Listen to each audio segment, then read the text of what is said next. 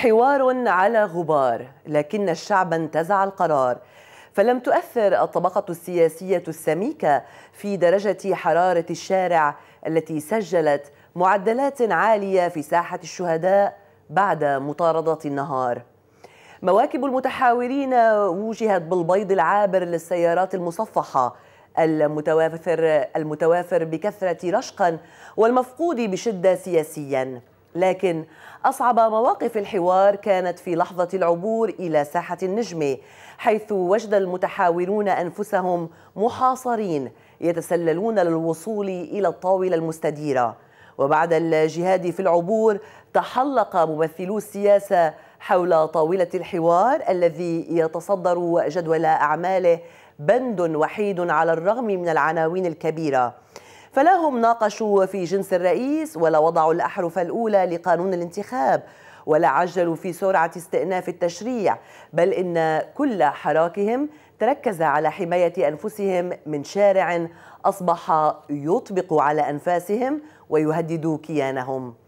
هو اجتماع الخلاص كما وصفه الرئيس نبيه بري حتى لا نعثر على وطننا في مكب التاريخ. وفي كلمته الافتتاحية كان بري أقرب إلى خطاب الاستجداء أو ما سماه سابقا نداء الاستغاثة متمنيا ألا يكون قد فات الوقت لصنع الغد. عدا ذلك أيها السادة فإننا سنضطر إلى أن يأخذ أحد بيدنا إلى إحدى العواصم ليتم إبلاغنا المخرج الذي نتوافق عليه بحسب تعبير رئيس المجلس. لكن مهلا فإن الخارج حاليا مفقود والداخل هو المولود وهو الذي سيأخذ السياسيين إلى عاصمته إلى حيث الشعب يصنع خياراته من وحي خاص.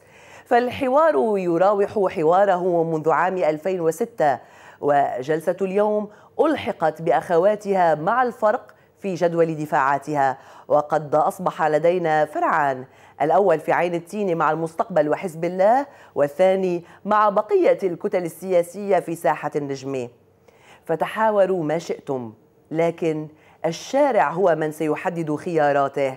وأستلحقوا أنفسكم بطاولات بطاولات للمناقرة السياسية وبعدها للمزايدات داخل مجلس الوزراء على أنكم لو أردتم حلولا لاحترمتم إرادة الناس وعزلتم وزيرا واحدا يطالب المعتصمون بإقالته. فشلتم في الجلوس على طاولة واحدة.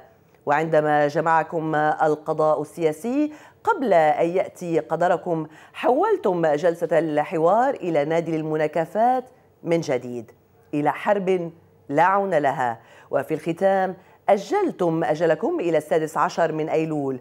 وربما مع ذلك الموعد ستطالبون بمنطقة سياسية عازلة للاجتماع وبممرات آمنة تعبرون منها إلى نقطة لقاءاتكم السرية لأن حركة الاحتجاج آخذة بالتطور.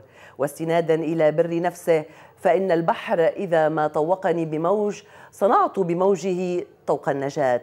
لكن ما لم يعترف به رئيس المجلس هو أن السفينة تغرق.